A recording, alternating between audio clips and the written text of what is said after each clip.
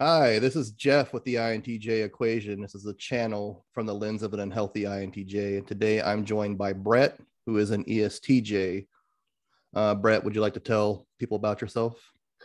Well, my name is Brett. You can also call me Rex. Uh, from North Carolina, specifically the Charlotte area. Moved around a lot in my life. Um, I've gone to, I've lived in lots of different states, gone to schools in lots of different places. I currently study in North Carolina as well. I'm a business management major, I'm a psychology minor. I plan on having a master's in industrial and organizational psychology. And uh, I have many odd hobbies like researching philosophy, uh, theology, and martial arts. Oh, really? You, do you do martial arts? Yeah, I do jujitsu and Krav Maga. I've done some other things over the years. Okay, nice. I do judo. Yeah, hey. Very close to jujitsu in a lot of ways. mm-hmm. It's a mother of jujitsu. Yeah. All right. So, what's it like being an ESTJ in your perspective? I know you're a bit skeptical of typology and MBTI and that's an important that's an important note. I, I am very much uh, more of an advocate of Big Five, Hexaco, and, and those kinds of uh, factor analysis approaches. Um, from what I understand, I'm a neat uh, about organization, about step by step process, uh, bottom up thinking. Um, I would say that every day is marked by thinking, how am I going to approach step by step this problem? Um, how am i going to organize my time? How am i when am i going to do this assignment? Who am i going to do it with? What is appropriate here? What's effective? What's efficient? And i feel like way too many estjs that sounds like oh he's super conscientious right? You know he's a super good worker and he's like good at all. No no no no just because you have that thought process of how to organize your time doesn't mean you're going to do it well. Um, and i feel like from what I hear and from what I understand, too many ESTJs and TE users in general get way too caught up in efficiency to the point where they tend to have a very low morality, much more than they think, um, mm-hmm. in order to ends justify the means, right? Um, and so I think a lot of ESTJs struggle with anxiety, and that's not something that you want to talk about because FI inferior, right? If you're an ESTJ, yeah. And um, and you know people are just apprehensive about talking about trauma and anxiety in general and depression.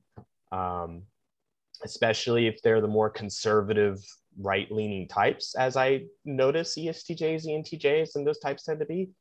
Maybe that's true. Um, and I, I think that especially as a psych student i would like people to open up about their internal feelings more and to be to to say yeah this is where i fail and my organizational like uh, preferences. This is where I fail. Uh, here's some of the faults of being overly cautious, right? But uh, I don't see that a lot. Yeah, yeah, I think that TE is a very uh, the efficiency driven function, and INTJs do it kind of differently, but it's a pessimistic function for INTJs, so they don't really like using the TE as much as like a ESTJ or ENTJ would. Mm. Kind of like your bread and butter. It's just like what you do the best, you know. Right. And, and it's interesting because a lot of the time I hang out in philosophy servers on Discord and in real life, and supposedly you find a lot of INTJs, INTPs. Mm-hmm. And uh, they are not always the best people at debate because they don't like to use that extroverted thinking. They don't like to bounce off of people and to actually approach these things in a cohesive way. It becomes very defensive very quickly. I'm right, you're wrong, right? Mm-hmm. Or they just don't approach the subject at all. They're avoidant, right, of conflict. Yeah, INTP is definitely more so than INTJ as well. Once INTPs have their mindset that they're right, they think that they're right and they'll kind of go to the death with it. Yes, yes, they will. I do not do well with them. yeah.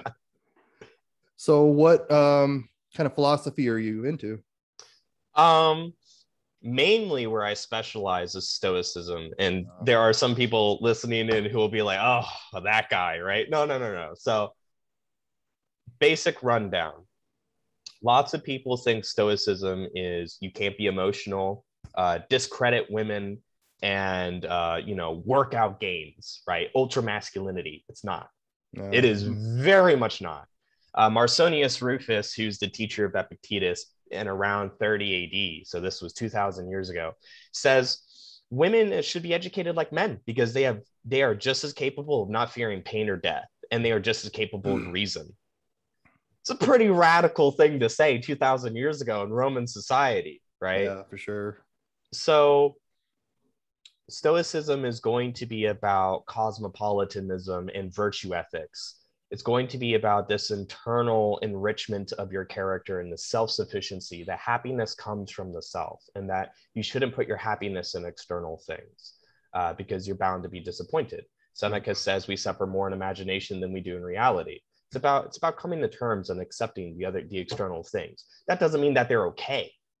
It just means that we're aware of the devils we're dealing with right? And we accept them for what they are and then we can fix the problem from there. Um, philosophy of science is interesting to me. Philosophy of mind. So that's going to be like dualism versus uh, physicalism uh, stuff like that. Uh, you know philosophy of language. So wittgenstein right uh, and other people along those lines pragmatism so dewey peirce blah blah blah uh, and then philosophy of religion is going to be interesting um, there's lots to say about that so all sorts of areas it really just depends but I like uh, analytic philosophy more so than I like continental philosophy. Continental is focusing more on the meaning of life, purpose, all this like vague stuff. Whereas analytic philosophy is trying to focus more on like logical stuff we can maybe prove or like come to reason to, right? hmm So, Yeah, I definitely probably not as well researched in as you, but it, Stoic philosophy has definitely been a big help. I think uh, a lot of it came from uh, like CBT. A lot of ideas from CBT came from Stoicism. mhm. and REBT, Albert Ellis, I believe. Uh, uh, it became the foundation for logotherapy, which then influenced REBT and CBT. And of course, those are some of the most effective uh, therapeutic methods we have. Yeah, Albert Ellis. I just stumbled upon him recently. He's the rational analytic therapy or something like that, isn't it? Yes, uh, rational emotive behavioral therapy. Okay. Yeah, I just kind of crossed because I was looking up rational psychology, which is kind of like an old dead system. Uh, Mm, yes, yes. Um, and you know, and, and humanistic uh, psychology still has its place with Carl Rogers. Uh, you Yeah. know, I am not like I support it, but I personally wouldn't do it, kind of thing, right? it's not for me. yeah. But that's the thing with therapy is that one therapeutic method is not the same for everyone, right? So. Yeah, I definitely read some Maslow. haven't read much in Rogers. Um it doesn't even do you any service to i mean no one uses maslow right? I mean the hierarchy isn't even like comparable. It's like because you can have self-actualization without having the physiological needs right? And that's stoicism. That's stoicism's entire thesis right is that you can do that. Aristotle will disagree but who cares for what aristotle has to say on virtue ethics? Yeah, Dostoevsky grew up in poverty in Russia, and he became like a very prominent figure, and didn't have a lot of. He was alone, and Mhm. but his family kind of abandoned him. He was still supporting him, and he kind of just self-actualized on his own. exactly right you know uh, human development is a lot more complicated than a pyramid right um, and that's something to work our way into typology and some of my critiques in it if i may um, my professor who uh, graduated from university of alabama and um, his professor claimed to be the uh, little albert child uh, from bf skinner's experiment where uh, he Oh, really? you know, makes a very loud noise behind a baby. His professor claimed to be that baby. It's probably not true. But anyways, he's super dope. And he's like, listen, so there, there's an issue in saying that there's 16 personalities. You can say, and not not everyone in the typology community says this because it's so broad, but you can say that there's a spectrum of ESTJ. So if you Mhm. put me and my evil twin right here, we're not going to be the same exact ESTJ, but we're going to still be using the same functions, but maybe not to the same conclusions or something, right? Fine. You're still saying there's 16 personalities from which there is then spectrums upon. hmm What five factor analysis is saying is that you're a fifth dimensional object, which is really hard to imagine because humans don't deal with that. You're a 50, you're a 40, you're a 30, you're a 20, and you're a 10, and it creates this fifth dimensional plane, right? Uh, it's like it's like the political compass if it was five dimensional, right? And we're only accounting for part of your personality traits. and we're just saying this is like this is what you're like right here right now we have no idea what you were born with we have some genetic idea right because for example extroversion is one of the more genetic factors uh, with your parents specifically and we can even track childhood scores uh, using different tests and different measures we can even track childhood scores into adulthood and then adulthood into later adulthood and it's going to be a lot more consistent than a lot of the typology that you will have because I agree with typo- most typologists will say you can't do online tests to be typed. And I think that's pretty fair, right? Because like for example, if you score 51% on your E score and you're an ESTJ instead of an ISTJ, that's ridiculous, right? That that's because they're completely different, right? Mm-hmm. Even though the most people that that wouldn't seem like much of a difference, but it is, right? Even I know that. So now you have to be typed by somebody. Well, where does this tradition come from? This tradition comes from the psychoanalytics. This comes from Freud and Erik Erikson and uh, Corni, uh, yeah, Karen Horney and uh, Jung and uh, and Lacan and other and and uh, Freud's daughter and all all all these people, right? Mm-hmm. Where you take a trained psychoanalytic and we sit down and I analyze things about your dreams and free association and talk therapy and all these things. And I start to mm-hmm. discern, you know, things about your unconscious mind through your conscious mind. That's dubious at best, right? First off. Second off, it's not a diagnosis, right? Like we're not looking at physiological things and going, oh, you were touched as a child, right? That's not what the psychoanalytics are doing they're going, oh, you like smoking because you were weaned too early or too late in the oral stage of development. Oh, Freud, uh, yeah, Freud's that's sex, Freud. Sexual theories, yeah.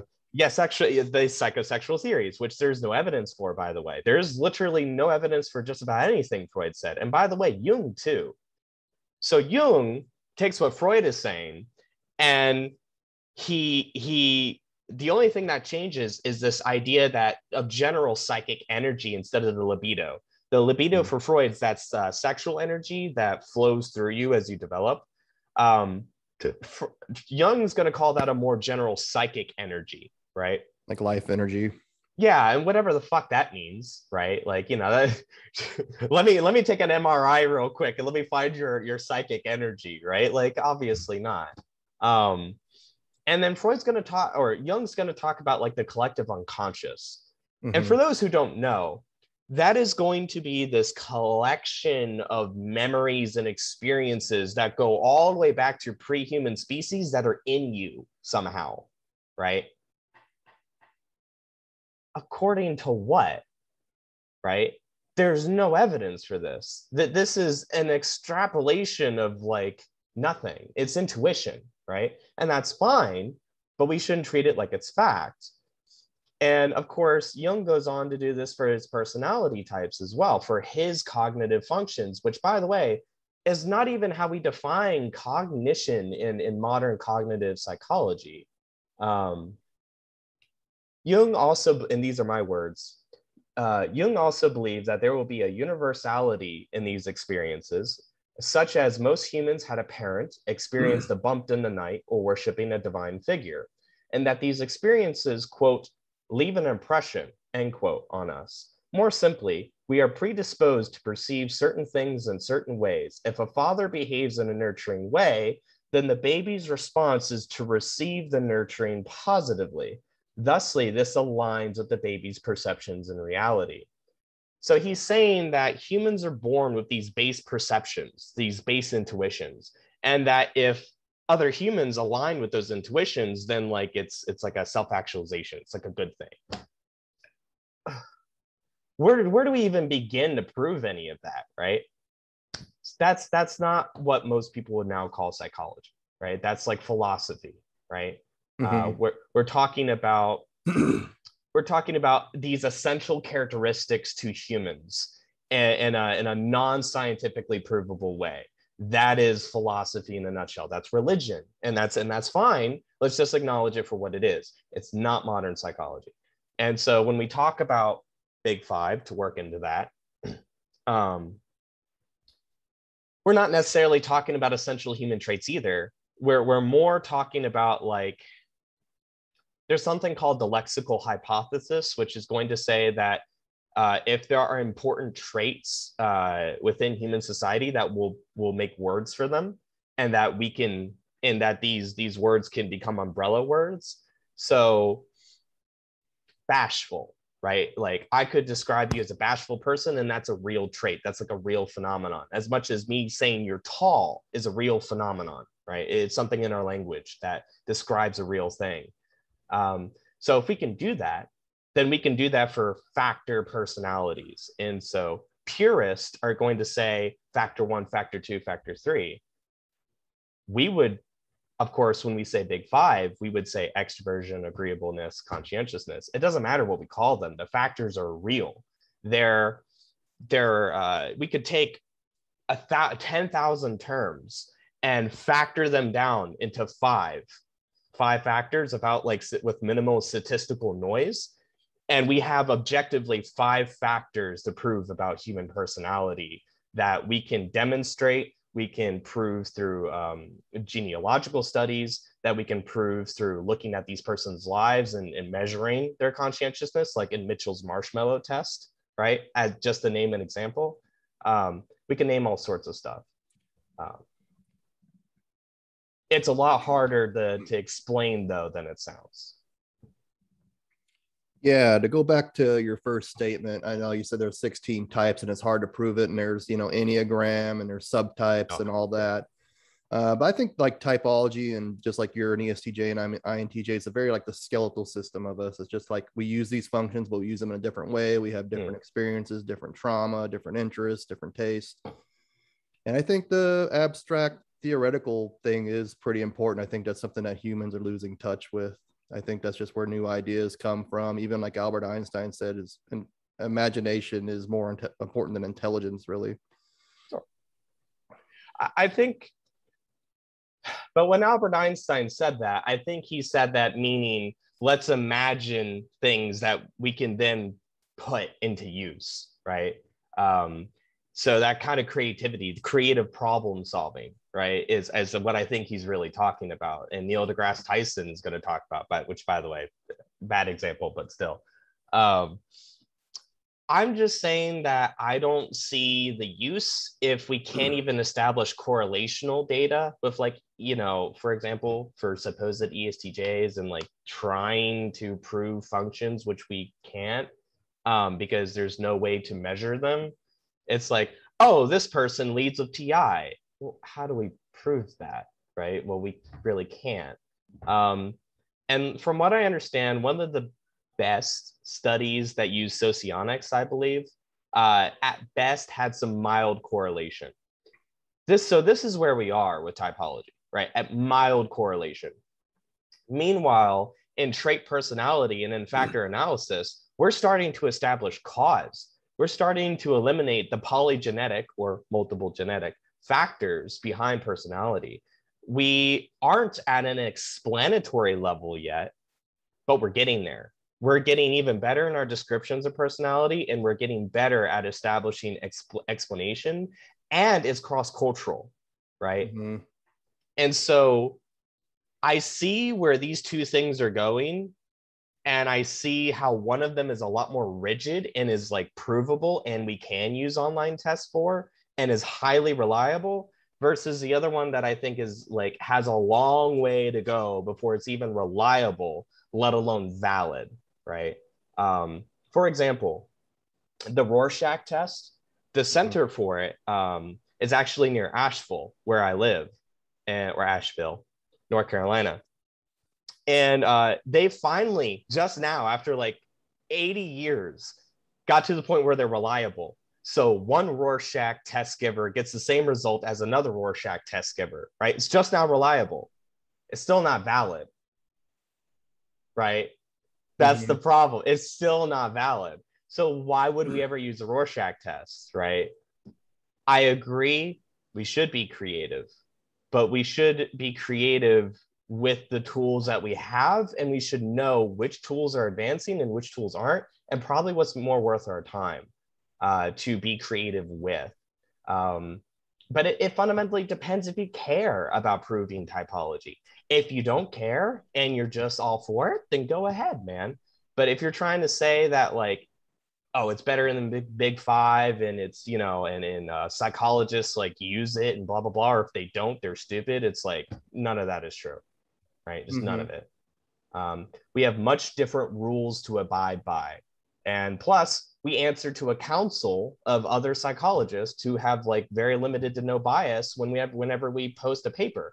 What council holds typology together? There's no association that does that, right? Mm-hmm. There isn't even a single school of typology. There's at least like only two schools of trait personality, Hexaco and Big Five, and they're not even all that different but there's no unification between Enneagram and Socionics and Big, uh, sorry, and um, MBTI and or Eric Sorensen or whatever his name. Like it, it's gotten so absurd. Specific YouTubers have their entire own systems and have like no qualifications, right? Mm-hmm. Except in bullshitology. That's all. So like uh studies and empirical data, credentials and stuff is very important to TE users. Yes. So what about like TI users that just think like who are autodidacts and just educate themselves? Why do you think so, you need an institution or degree to say that you're an expert in something? Well, okay. So there there's there's positives and negatives. Positive. Um you're probably very good at creative and abstract thinking, right? And problem solving. Mm-hmm. Um and you're probably faster at learning things um, because you're probably on the more intelligent side of things, or you can just think in your head better, right? Uh, rather than looking at things like more TE focused or sensing people focused are, right? Um, however, there's problems. Where's our standardization? Where is our consistency? Um, have you ever heard of a positive feedback loop or what's also called circular logic? Mm-mm. For, for those who know who Darth Dawkins is, I'll give you an example. God is logic. If you believe in logic, then you believe in God. Dunked, atheist scum. so the problem is, is that the, the, the conclusion is in the premise, right? Like the, there, there's a sneaky issue here, right? Mm-hmm. Like basic dog is dog. That's a tautology, right? Like the conclusions is in the premise. So it has to be true because I've created a nice little box in which it has to be true, right? A dog has to be a dog. Mm-hmm. Flawless argument. God is logic. I just presuppose that. That's just a brute fact, right? It's just true. So if you believe in logic, then you have to believe in God because he's the one who made it. So it would be illogical not to believe in him because he's given you these tools to like believe in him and he is the basis for logic. So if you have to base your reason in something, you base it in God. Therefore, you should believe in God. That's all the circular loop, right? Guess what the problem is? You can just say, I don't think God is logic. Bam. And the entire loop breaks, right? So what I notice, and I've interacted with enough TI users and NI users to, to know what it is you're talking about. They fall into this seems intuitive and reasonable to me, but it just ends up being circular logic or having another fallacious issue because they don't put their systems to really truly be critiqued or to take information from other systems or other people. That's the problem that I see with that. Wasn't pretty much everything like an abstract idea at one point, and some can be correlated and some can't. But I think everything's an abstract. I think everything's an abstract idea. Mm-hmm. It, if you want to think about it that way, a chair is an abstract idea. Well, define a chair to me, for for example. Define a chair. Uh, something you sit in for made for one person, typically. Okay, right, right. Okay, that's how you define a chair. I define a chair as anything with four legs, right, and is something you can sit in. It doesn't have to support your back, right? Uh, so a stool is a chair a school chair is a chair. Is a couch a chair? Probably. Uh, but four legs and you can sit in. Well, a car, right? Or other things that start to fit that definition. So, and this is like Plat- this is like Platonism, right? This is like the idea of like what is essential qualities of things, what is the perfect form of these objects we see, right? There's a perfect form of cup.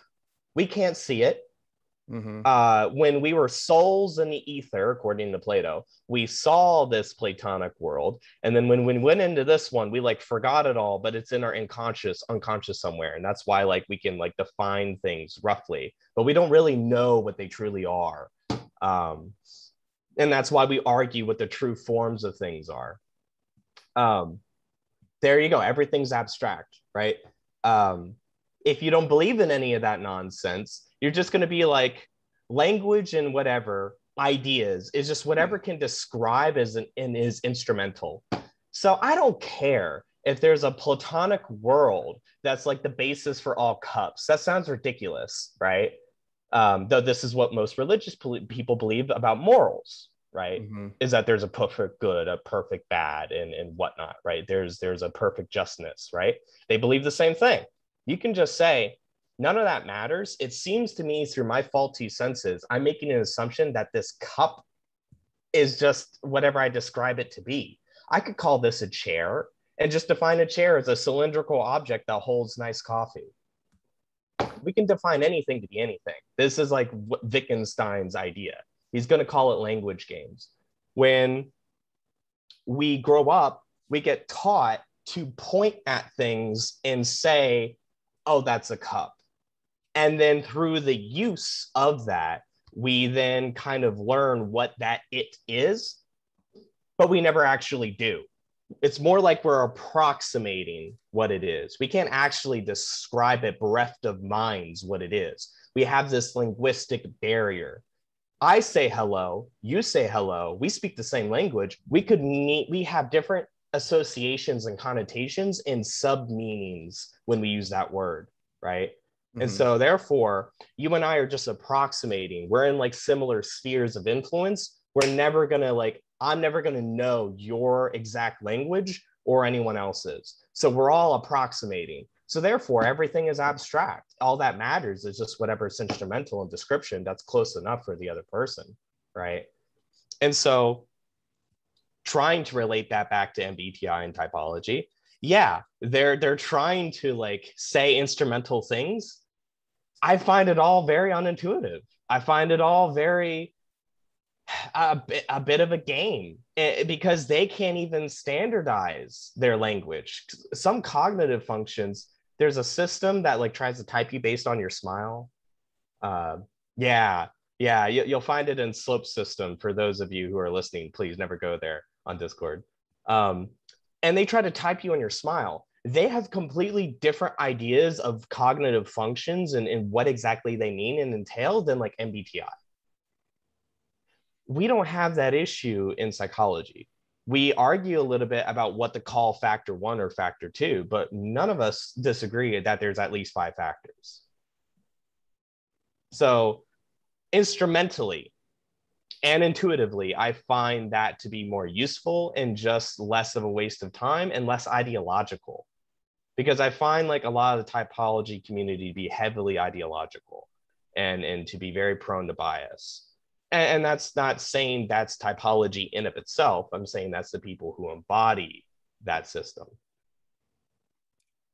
Okay. So like very intuitive people, idealistic people, they're the ones that kind of drive change in society and new innovations and stuff like that. And typically, like the STJs, the SFJs, they kind of get it, then they keep it that way for long as they really can and they resist change. So, what would you say, like, there's no place for like people like who can just dream of an idea and make it in reality? No, I'm just saying those people shouldn't have a blank check as much as people who are very conservative about ideas aren't. Marcus Aurelius, talking about Stoicism, Mhm. said that a good doesn't necessarily occur because of a change, nor do a lack of. A change is just a change. A stationary is just a stationary. How we value it is whatever, right? That's that's it. But a change in of itself is neither good nor bad. And so I'm just saying that it depends what values we want to ascribe. If if you want to change the world of personality psychology, my recommendation is I think there's better ways to do it. That's all I'm saying. Be firebrands. I am a very firebrand ESTJ. I'm highly progressive for a fucking ESTJ, from what I understand. Um, I want that change, goddamn it, right? It's just that I want it done with the least amount of errors possible. and my job is to try to do both, and it's really hard. Is to try to get that change in there and try to make it as efficient as a, and as effective as possible.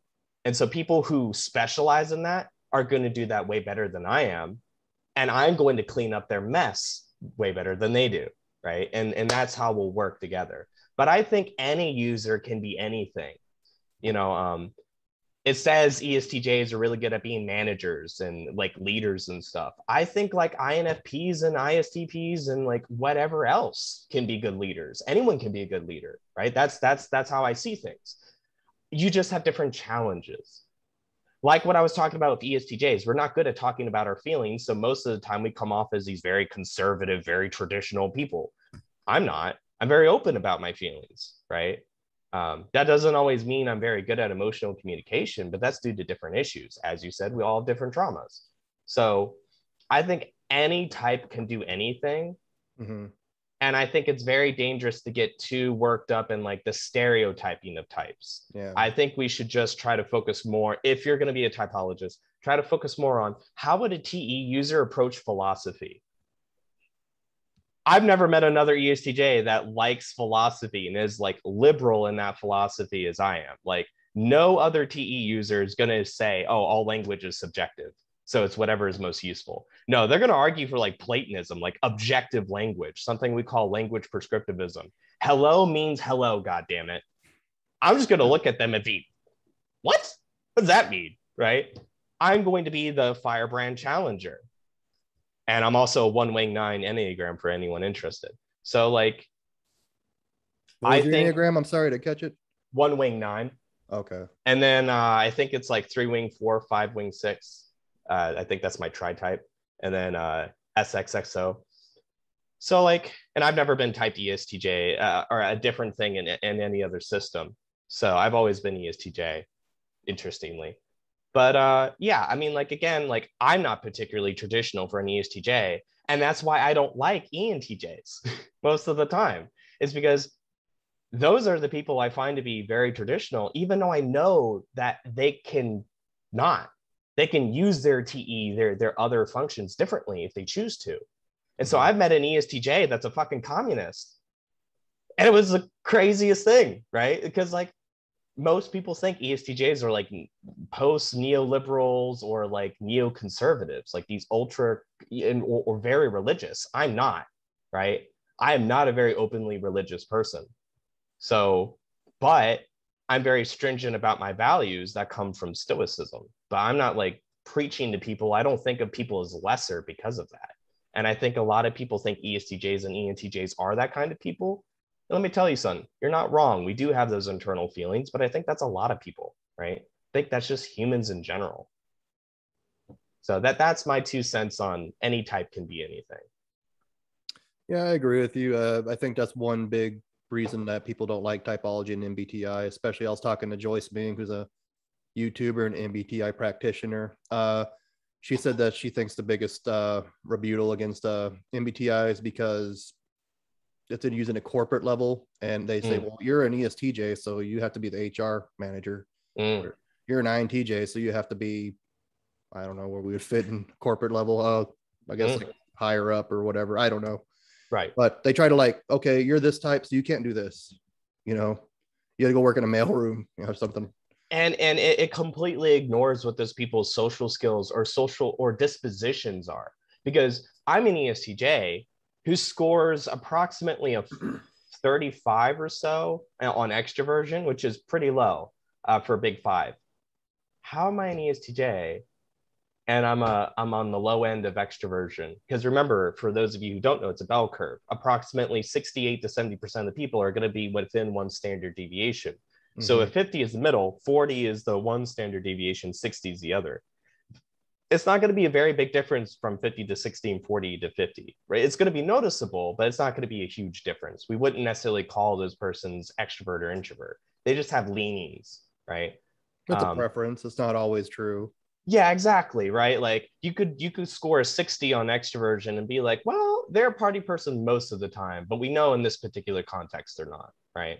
someone who's like an 80 or 90 those the the more extreme statistical people are like the people who are like yeah man anytime any day right the frat boys i loved right um so i score a 35 yet i've been told i give speeches very well i've been told that i um, one man army and you know am the uh the pariah in front of 20 people disagreeing with me i've given lectures on stoicism before um, and generalized anxiety disorder because I studied that for a little bit, eh, like over and over again. I, I have to deal with frat parties all the time because I live with frat brothers. I have for a very long time, uh, though I'm not a frat brother myself. So, yet I score 35 on extroversion on the Big Five, and I'm an ESTJ. Why is that? Well, it's because that's not how I would prefer things to be. That doesn't mean I'm not good at handling those situations. Very different. You can be an introvert and be a very well trained extrovert, right? But you would rather prefer things be here and vice versa, and vice versa, right? You can be an extrovert who's capable of shutting up and capable of Zen, right? And going without people. Because the big five isn't asking for your social skills a lot of the time. It's asking for your social dispositions. Do you enjoy being the spotlight? Nope but i can dance like a motherfucker so i have no problem with it right? But i don't enjoy it. I don't desire it. Congratulations you're lower on the extroversion score one that's what we're looking at one thing about the big five that i have a that I'm skeptical about a bit, like introversion, extroversion. Like they say, like extroversion, it's made up of a bunch of other mini traits, and they say these are the five traits that are commonly found in people consistently. But have them right here. Yeah, so it's like, well, I don't, I don't have it in front of me. So uh, extroversion is like what assertiveness, gregariousness. You could probably read them off. But friendliness, uh, friendliness. activity level, excitement seeking, and cheerfulness. Okay but I'm I score very low on Big Five for in, uh, extroversion, introversion. I'm like usually on a mm. 14, 15. Okay. I also have avoidant personality disorder, so that's probably why, and I'm mm-hmm. overcoming all that. But mm-hmm. I can be. I worked in corrections for five years, so I'm pretty assertive when I want to be. I can be. Right. I'm, you know, I'm very high in openness. Usually, intuitives are. Um, right. And I could, and uh, you know, excitement, risk taking. I I like to do judo and stuff and martial arts. So it's kind of weird how it places me so low, but I do like these things. That's just one of their criteria of being an extrovert or high in extroversion. Right, exactly. And so it's like that's the you know the question becomes, do you want to be assertive? Right. You know, mm-hmm. it's like, well, no, but that doesn't mean I'm not good at it. Right. Um, I don't I'm good. I, I like martial arts, right? I would be good, hopefully, at relatively defending myself against the average person. Do I want to? No. So my excitement is lower, right? Yeah. If I was like, fuck yeah, I wish a motherfucker would, right? Which, you know, every every now and again. but then it would be higher, but it's not, right? So eh, you got to think about it like that. The skills, uh, what you're good at, how you've overcome your introversion is is not what we're able to detect within the big five. We're only able to detect how you would prefer things to be. And there will be some correlation there right? Um, for example someone with your score which is probably bottom like 9% uh, so 91% of the us population be more extroverted than you is how to read that. Um, you're going to struggle maybe with emotional connections, having lots of friends, making friends. Uh, then this sounds like avoidant personality disorder or avoidant attachment style, uh, mm-hmm. uh, which, by the way, I have avoidant attachment style, though not the disorder. Um, well, introversion goes right in with that, right? Because we're we're going to want to avoid conflict, and what do introverts do? They avoid conflict if they can, right? They they don't want to get involved with all these people and all this craziness. They don't need to be in a socially bubbly to be happy, right? They'd rather be doing something by themselves. So it's it's just all about preference, right? Mhm. And there will be some correlation with it, but it's not always going to be a one to one. You can find introverts who are better at something, who who have some extroverted skills, but you will find you will still find the introverted trends, right? You will still find it.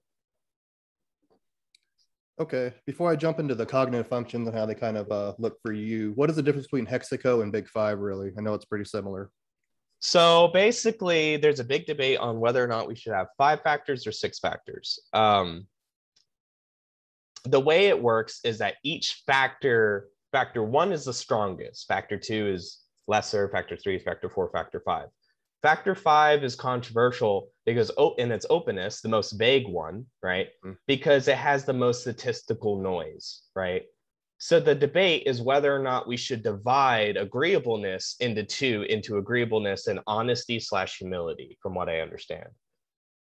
And the problem with that is that there's a little bit more statistical noise. And so thusly it's a little harder to get good, reliable scores, right? And valid scores. But for the most part, it's it's pretty much as successful as Big Five at doing what it wants to do. So it's just adding in that extra factor. Um, and it's going to divide agreeableness into two separate factors. Okay. I'm kind of in the middle with agreeableness.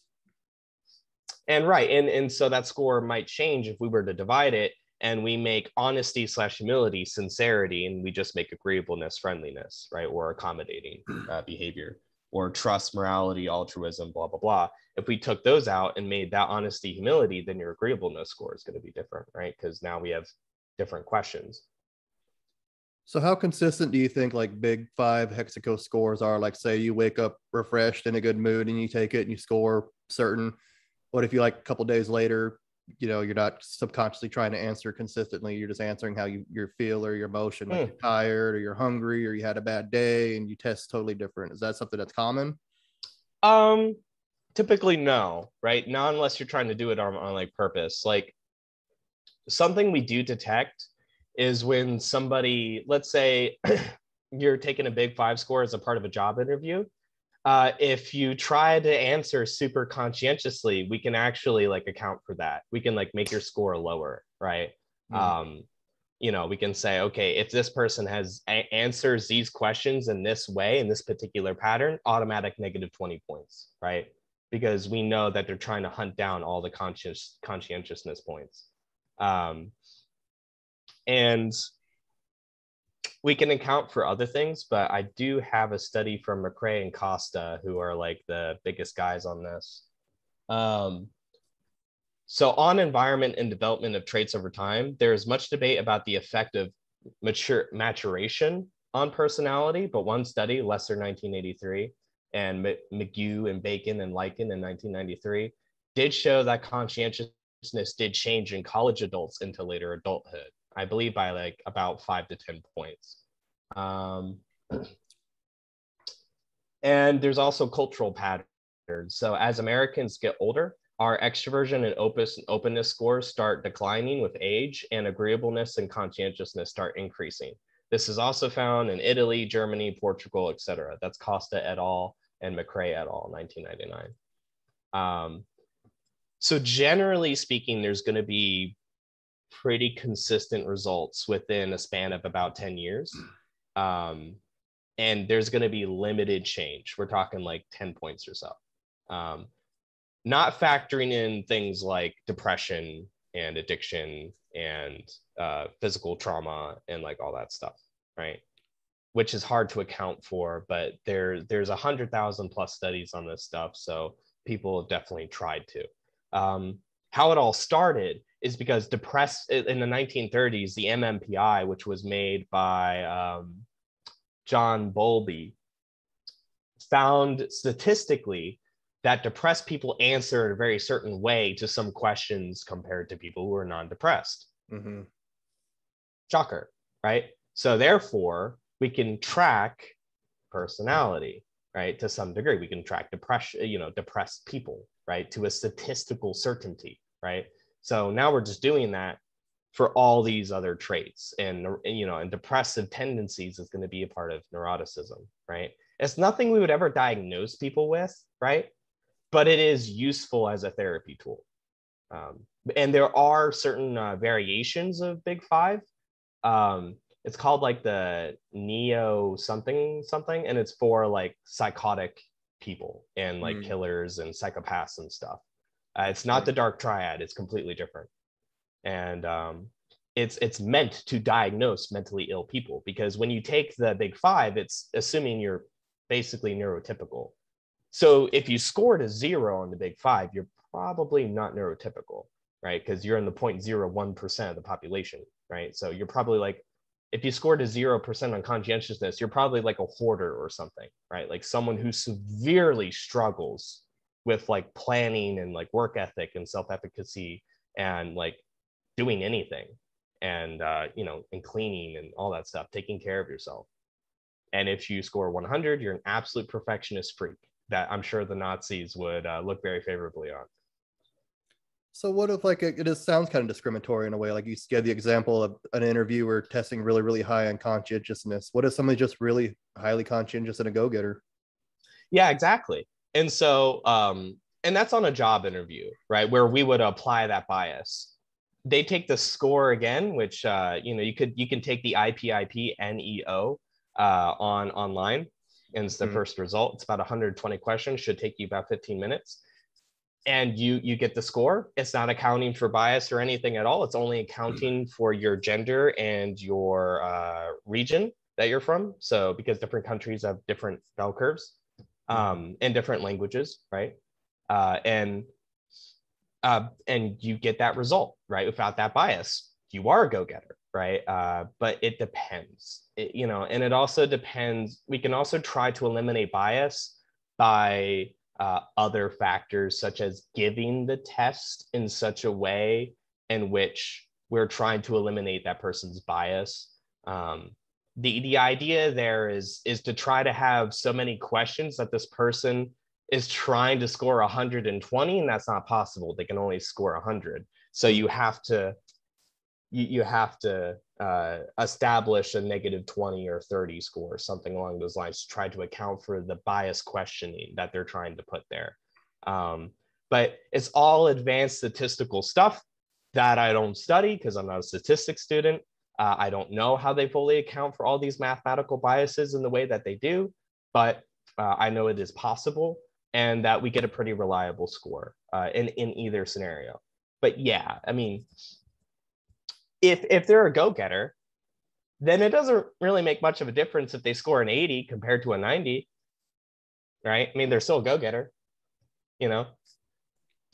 Their real like... scores and their real scores a 90, but like due to like questionable bias, we made it an 80. Still a go-getter, right? Yeah. How would you score like in the 60s or 70s for conscientiousness? Mm, I score uh 95. 95. Okay. Not good. a little, little too much, huh? A little too much, yeah. Yeah, it's kind of good to be kind of in the middle, maybe between like the 30s and 60s, maybe. Yeah, and if if you if you have really high conscientiousness and really high neuroticism, oh boy, yeah, your life's oh, yeah. going to be miserable. Obsessive compulsive personality disorder. Mm-hmm. That's gonna that's gonna be something that is going to be very high in both of those, as well as people with trauma. Yeah, I score pretty high in neuroticism, so right you know it's like if you if if you have had a lot of trauma in your life you're gonna you might respond and one of the ways to respond to trauma is to become very organized very dutiful right? Uh, mm-hmm. very avoidant right? And um so you you become much more conscientious than maybe you normally would have if you didn't have that trauma. That's another thing about like these scores is that you know you're you're born let's say you're born with a certain score the environment especially your parents are going to help develop that a little bit. Yeah and so costa and mccrae are like going to say that like it's pretty hard to change and what they mean by that is for the average person right but if you're not the average person because you have trauma or addiction or you've had depression which is not as common as people think right uh, for example, anxiety is only 5% in the lifetime uh, prevalence rate right? Uh, that's one in 20. That's not as common as people think uh, for specifically generalized anxiety disorder. And so, but you hear people talk about anxiety all the time. It's not the same thing. And so it's just like that's something that we have to think about these environmental factors and how they might affect our scores. And so instead of maybe I would have just had a 60 unconscientiousness if I never had trauma, now I have 90 because that's that's how I coped with it. My coping mechanisms develop my personality in such a way to where my personality disposition is to be highly conscientiousness because I like problem solving because that's how I deal with my trauma. That's my coping mechanism, right? There you go. Yeah. These yeah. are these are hard things to account for when we don't know everybody's life story whoever takes the test that's public domain, right? Mhm. Uh, we're just trying to say what is your personality disposition right here, right now, snapshot? It's going to be pretty damn consistent throughout your life. But obviously, if you're depressed and you take the big five, like your scores are going to be a bit different than if like you're having a normal day, right? If you can have one of those, because if you're psychothermatic or if you're bipolar, it can be very difficult. yeah, it could vary by mood or environment. Right, and, and and so if you if you want a consistency, take the Big Five test uh, over a series of six months, and we probably have a pretty good average for you, which is what we do anyways. So, and I mean, it's going to be very small differences. Okay, we're getting pretty low on time. I like to keep about an hour to hour and a half. Uh, I'd like to get into the functions a little bit. I think you demonstrated TE quite a bit, naming your sources and your credential. Uh, this study, this person, this person. So, how else do you use TE in your life? Um, I try not to. uh, I try to use it when in jiu-jitsu, right, or martial arts. I try to think about what this person's move set is trying to do when they grab my leg a certain way, or they're trying to grab uh, my head and establish control, or anything. I try to think process by process, but I also try to think intuitively, which is difficult, and I try to go with the flow. And I try to do both of that processorial thinking and that like more free flow thinking and and that muscle memory thinking as i like to call it in in that tends to go pretty well um, for relationships and for like friendships and stuff when anyone says something to me i always go what do they mean by what they say and then like i start to break it down right and i go this thing that thing blah blah blah rather than just listening to my gut but i can do both I get I get a feeling that it's this thing. My instinct says this thing, and then I try to prove it or disprove it. I try to go, is that a justified and like instinctual feeling to have? Okay, very cool.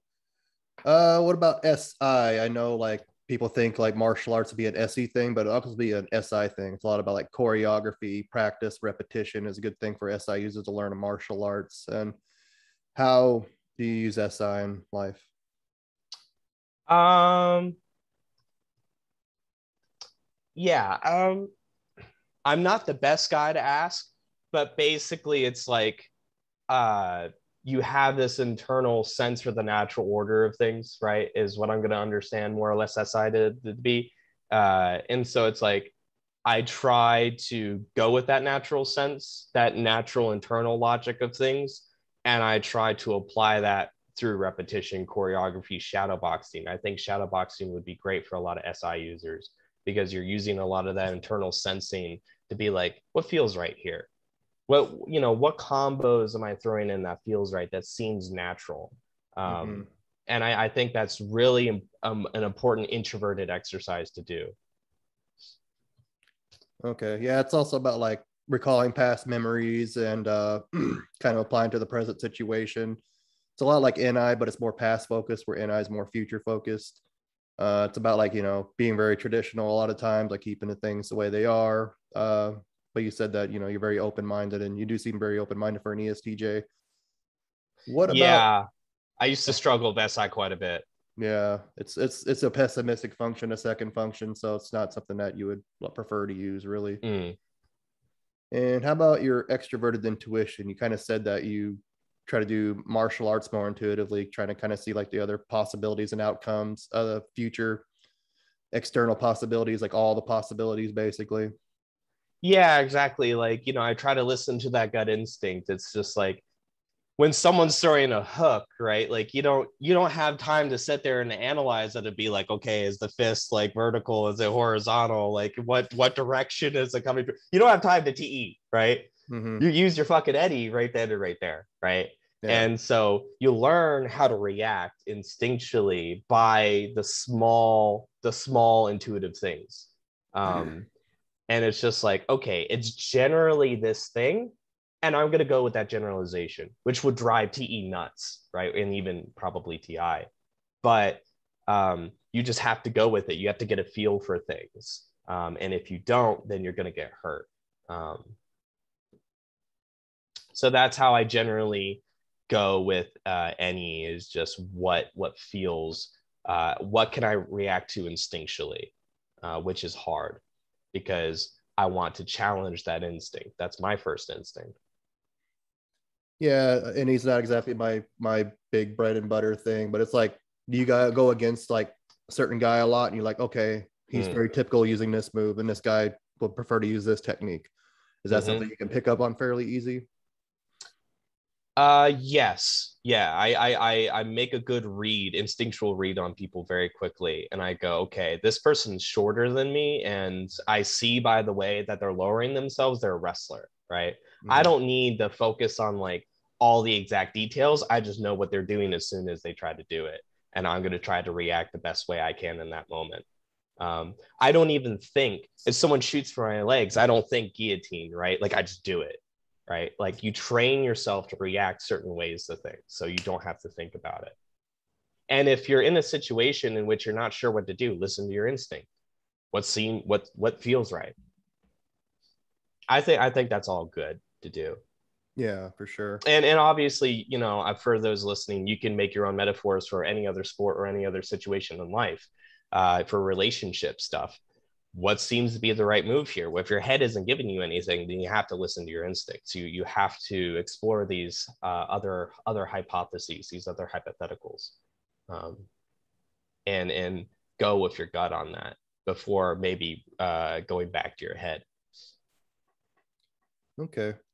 And you talked about uh, about this a little bit uh, fi and fear. You said you're fairly open talking about your emotions and your feelings and your own like personal compass. How does that look for you uh, interestingly, I have been told I am a mysterious or complex person by most of my real life friends, um, which I think is interesting. I'm not sure if other ESTJs suffer from that, but um, I my FI is going to be I can talk about personal things in my life, but in such a way that it comes off as factual and is bereft of the emotional like impact and like tone there.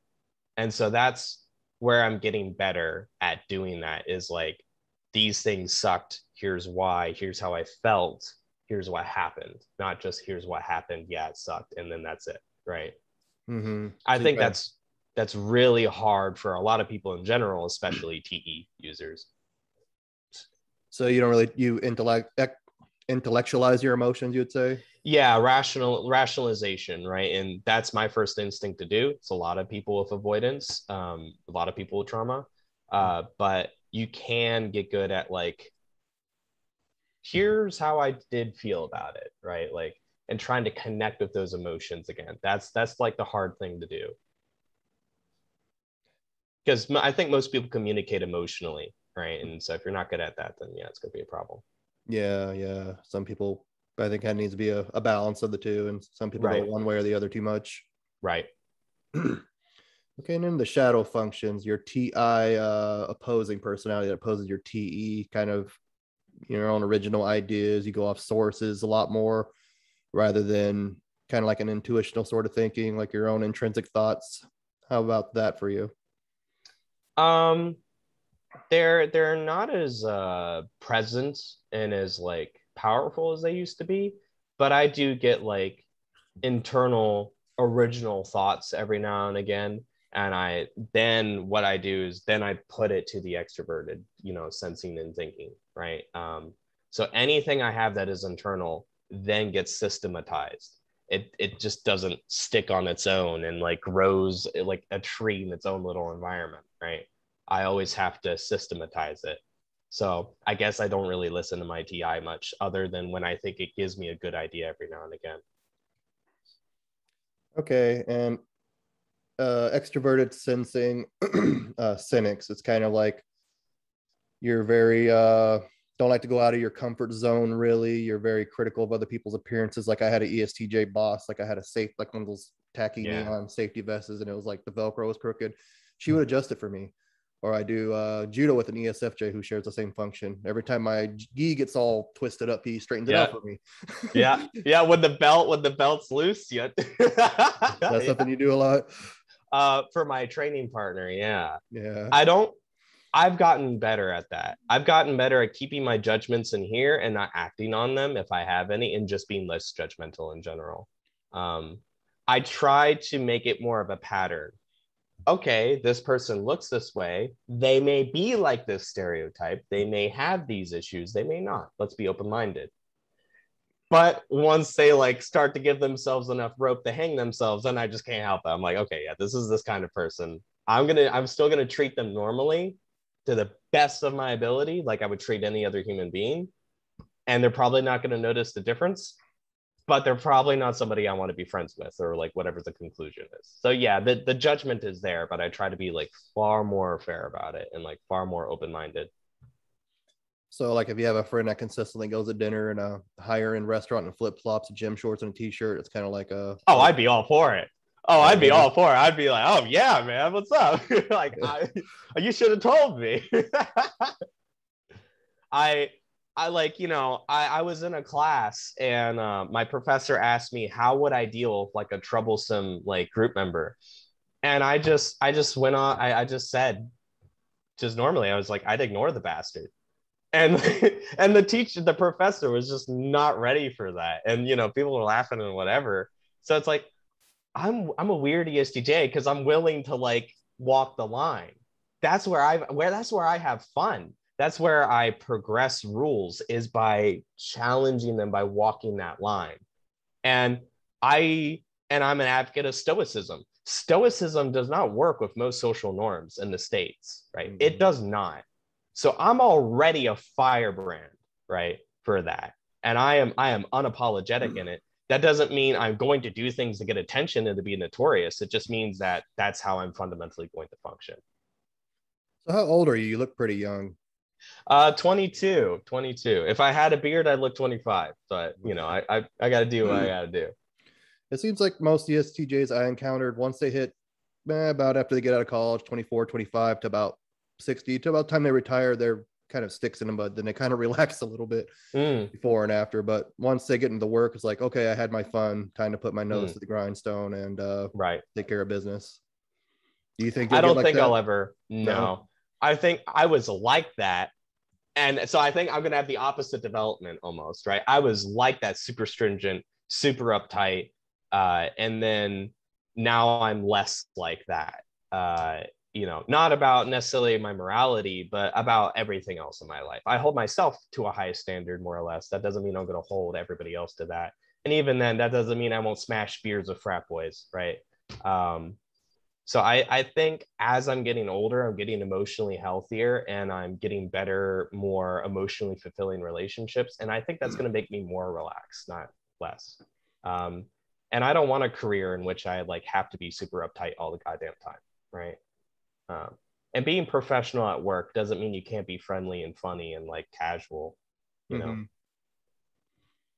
so like reading like uh the the typology stereotypes and the descriptions and stuff did you like read like okay i tested estj i tested like this pretty consistently but i don't want to be like this has that been helpful to you at least i'm completely fine with whatever result i get I'm I'm pretty apathetic about whatever result I get. I find the description of ESTJ to be accurate enough. I, I'm not complaining. Um, if people pretty universally laud me as an ESTJ, and from what I understand from a couple of my friends who use an Erikson's uh, system, I believe, or a modified version, um, I am the most typical TE user there is ever. I am the most like TE person they've ever met.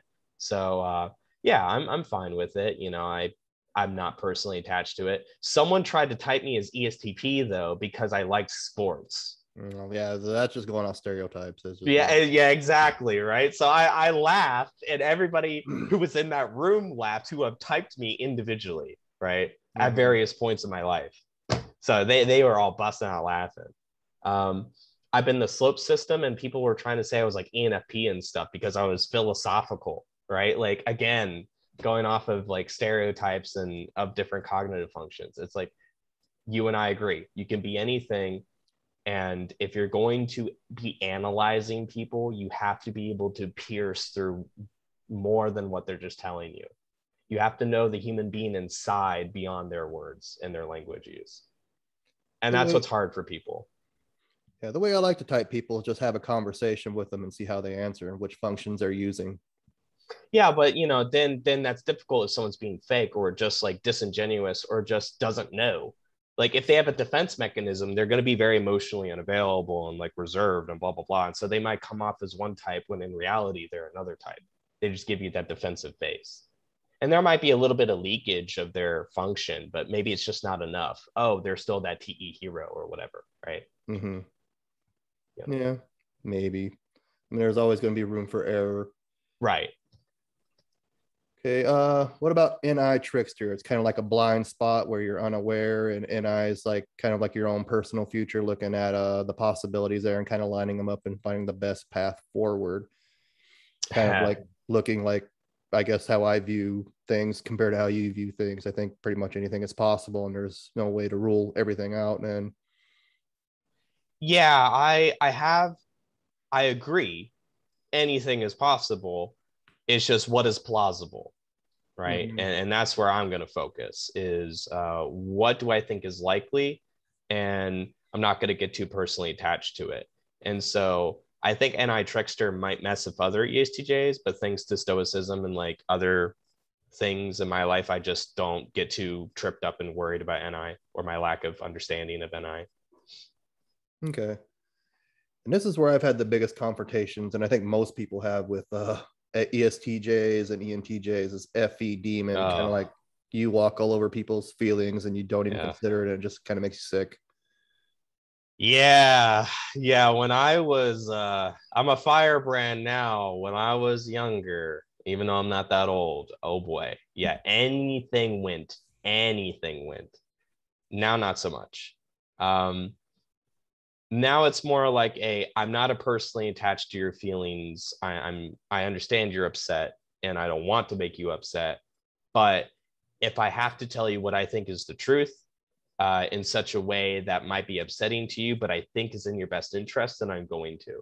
We've all we've all had that i think. We've all had that one friend where we've just had to be listen enough. I've tried to be nice. I've tried to show you other ways I just have to tell you straight to your face as bluntly as possible how what you're doing, right? We've all had that. I think just ESTJs just do that more often.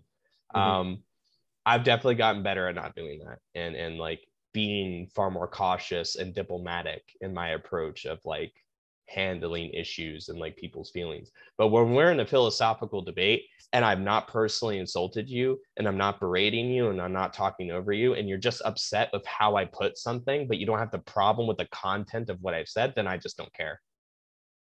And, and people don't realize this. You can argue for cosmopolitanism, universal brotherhood, the elimination of uh, you know uh, of concepts of race and sex and like all this stuff, right? And you know, preach like universal human treatment, but put it in such a way that it sounds aggressive. And that's what ESTJs do is we're, I think we're super idealists that put things in very aggressive ways. And that's what's so off to people. And so they'll never have a problem with so much of the content of what you said, more or less. They'll just have a problem with how you put it. I don't care, right? Like, analyze me for what I think is important, not because I said fuck and you don't like the word fuck right? Mm-hmm. Like, I think INTJs have a similar problem. We have FE trickster. We're kind of not aware of other people's feelings and emotions, and we kind of rationalize it when they try to come to us for uh, mm. like comfort, I guess. And I worked in behavioral health with kids, so I kind of learned how to skate around that and use my TE and my FI to kind of put myself in their shoes and you know find solutions for them. But a lot of times we rationalize people emotions when they just want validation. So kind of similar. We kind of steamroll it over them, but you know, and it kind of rubs us the wrong way, but we're just kind of clueless that we're doing it rather than like, I hate it that you have that. Right. I, yeah. Our, your first instinct can be to rationalize those emotions rather than just taking them as they are. And there, that's the idea of living in the present. And that's very hard for people with avoidance and trauma. It can be very difficult to do that. Yeah. And it's just like, like if you were to fix the problem, then you wouldn't feel these emotions. So I'm trying to help you, but yeah, people... I'm I'm solution focused because yeah. that's how I approach life. Well, if this person just wants to be comforted and just wants a goddamn hug, then like you know, and, and that's that's the difficulties. Just knowing when somebody just needs to be supported. Yeah, yeah. Some people just need to process that for a very, very long time before they take action. It's a little frustrating for, I guess. You have to use that sophos, that practical wisdom, right? Virtue number yeah. uno of Stoicism is that when does this person just need comfort? When do they need the solution, right? When the these are two different talks. They may be here, they may be here. This one may never happen, right? Yeah. Yeah, all that matters is that you see the difference and just when their conclusion they come to it if they don't i guess that's their issue mm-hmm.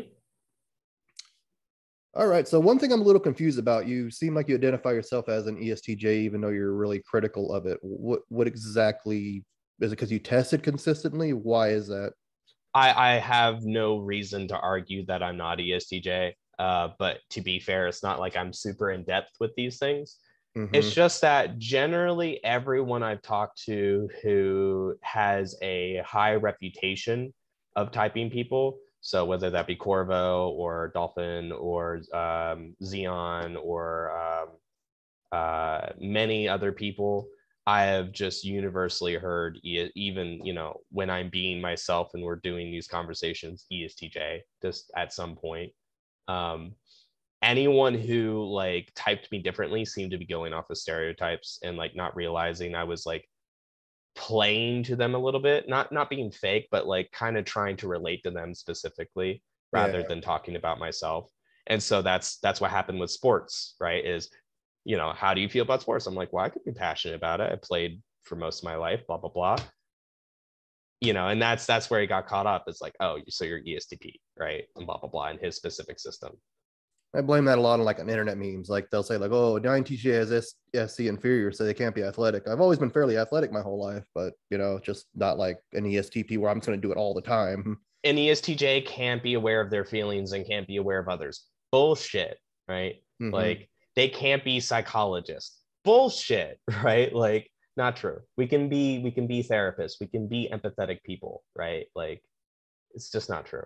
I find that they usually become like therapists or social workers, but they take administrative tasks once they get there. Right. And and that would be maybe the average comfort, right? Is be more of an experimental psychologist, a non-clinical side of psychology, which ironically applies to me.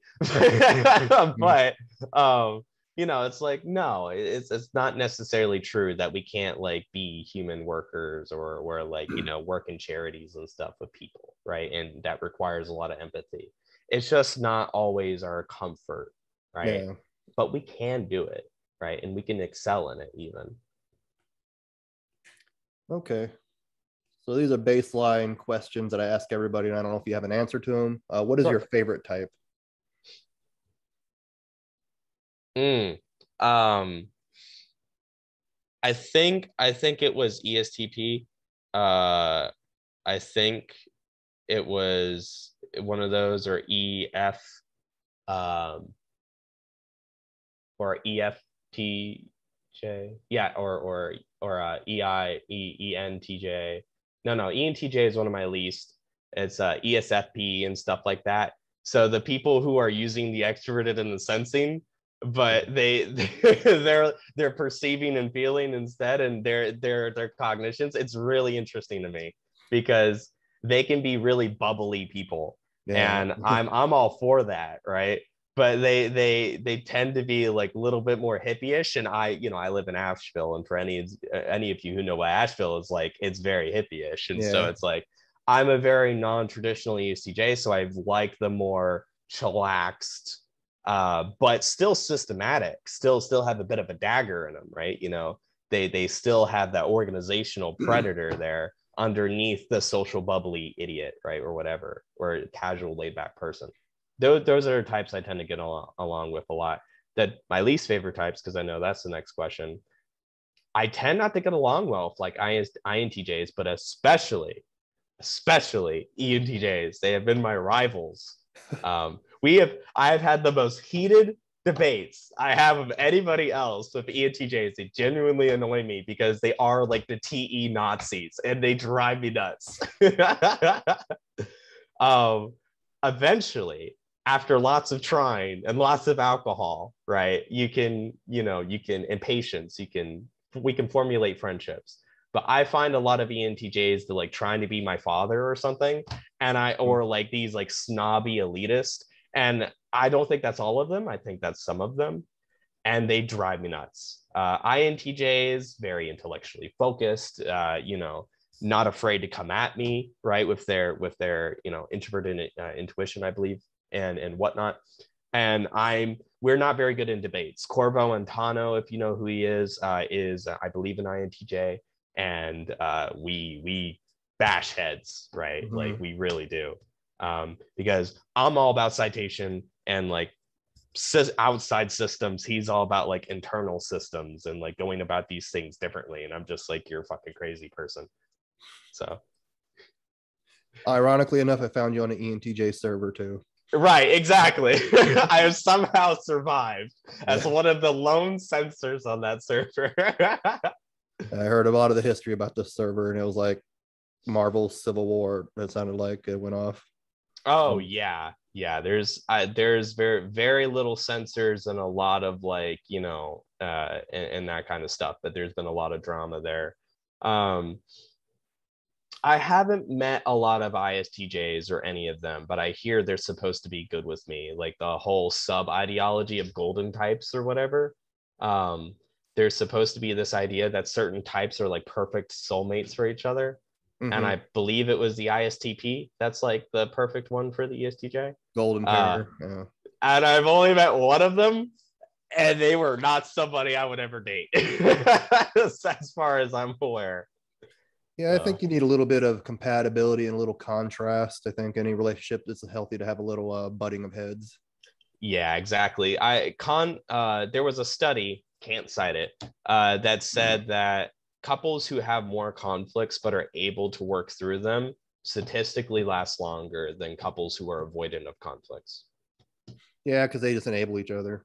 Right, right, exactly. It, one is cooperative problem solving, and you tend to air out a lot of issues and more potentiality to solve them versus enabling the avoidance before the explosion. Okay, the next question, for some reason, they are off and they're the same question in a row. It's supposed to be what would you like others to know about you as an ESTJ or just in general? Well, we have feelings. And a lot of the time, trust me, we're capable of understanding yours uh, the pit we fall into is that we think that your feelings aren't as important as what we think the truth is. If we're running into it, just let us know.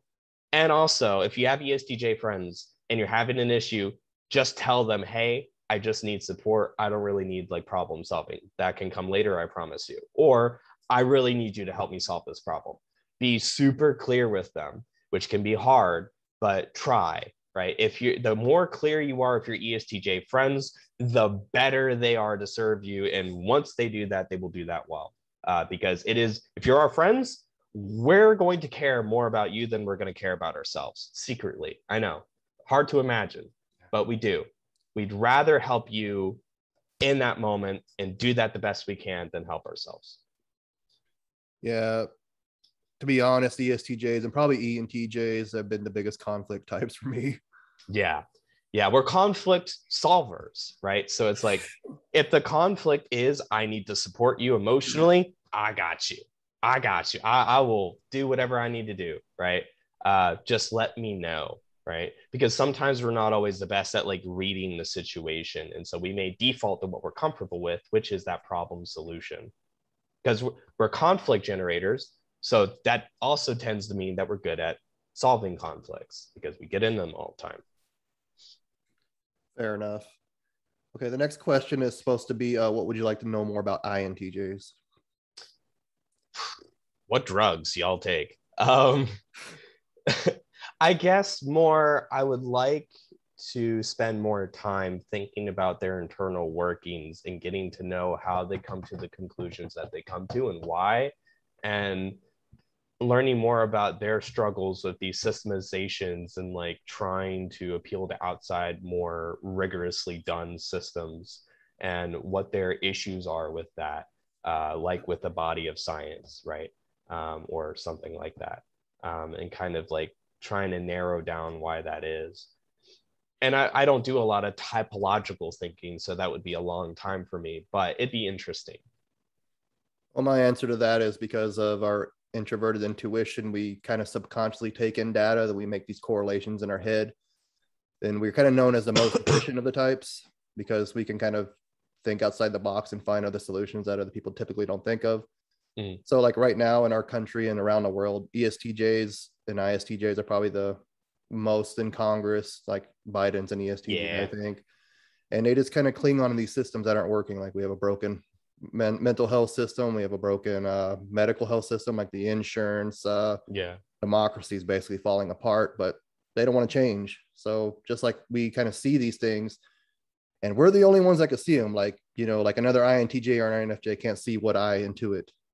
And, well, you know, I'm an ESTJ and I see all the issues and more of what you're saying, right? Mm-hmm. Especially mm-hmm. as somebody who's also in, in, you know, in the site community.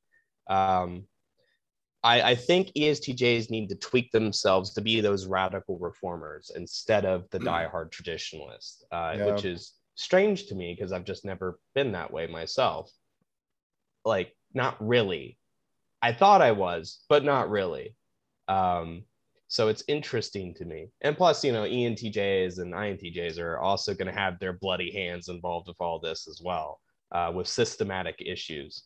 Um, so there just needs to be one side needs to learn to be a little bit more rebellious, a little more radical. The other side needs to need needs to learn to be a little bit more organized and to put things in such a way that works enough with the system without completely changing it, because that's just not practical to do. Um, you know, as opposed to incremental change or just block change or lagging change, right? It's not necessarily that everything needs a rehaul, just like I think like typology is important. I think there can it may be hard to empirically pinpoint, mm. but I think trauma affects types differently. Uh, I think we all learn differently. Like the school system's made for SJs, it isn't made for other types, and that's why other types struggle. I think like I've been accused of being a psychopath. I've been accused yeah. of being autistic. I've been accused of having ADHD or whatever. Yeah. But I just don't fit that stereotype and just yeah. I might not be necessarily mental ill in those ways. I am definitely mentally mentally ill. I'll admit that. I definitely have my fair share of trauma, but you know, just because you're just I'm, not a stereotype. Yeah, I'm just just because I'm different doesn't mean I'm mentally ill in that way. You know. Yes, exactly. I yeah. That uh therapy 101, right? Is that yeah. most normal people are pretty fucking weird in their own way, right? Shocker. Yeah. Uh, and this is why you and I are going to be huge advocate. Name me another ESTJ who, who's as big a diehard advocate of therapy as I am. But in anyways, this is why you and I are going to be diehard mm-hmm. advocates of everybody does therapy because everybody can learn to think outside their box and also to think in boxes because different people are going to have different struggles. I'm a highly systemized person that needs to learn how to think outside the box and to mm-hmm. live in the moment, be more intuitive other people who are going to have that in spades need to learn to work within the box, right? To some degree, to some degree. Well, INTJs, ENTJs, the rationals, like Keirsey called them, they're very systematic. They're just systematic in a very intrinsic way, I think. Yeah, exactly. And so it's like, it's also about using our systemization in the name of change. And um, I, I've just, I've never met another ESTJ for sure. I've only met like two others for sure. I, have never met these ESTJs that are like these super traditional people, right? Oh, I have, uh, I have, and I, I, have heard, I've heard, right? And so I assume the rumors to be true that they're a lot like ENTJs, and it's horrifying to me. And so that's why I'm out here. And if it's true, if it's true, I'm an ESTJ. That's why I'm out here being like, hey, I know how to appeal to you and try to convince you to switch your direction to the opposite direction instead of being incrementally conservative you're incrementally progressive. Not not that there's anything wrong or good about either one of those things. It's just that incrementalism can be used both ways. You know, you, we could be conservative on some things and regressive on others. I'm not saying you should be one way or the other. I'm just saying that you shouldn't be so focused on one thing and one way of doing things because your cognitions tell you and like your defense mechanisms tell you, right? Like you should make your own conclusions that you think are really true. Okay, just the the to trail back a little bit to finish my uh my explanation of your the question. Uh, just because something is not been tested or even hasn't even been thought of before doesn't shouldn't be ruled out necessarily. Yeah.